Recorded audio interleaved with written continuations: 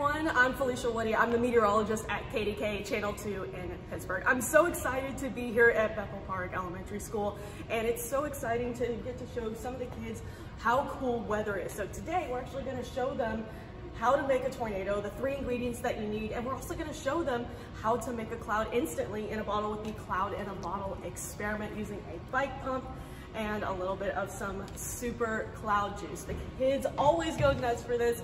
It is such an exciting time and I hope everyone gets to enjoy some of the experiments and thank you so much for having me today.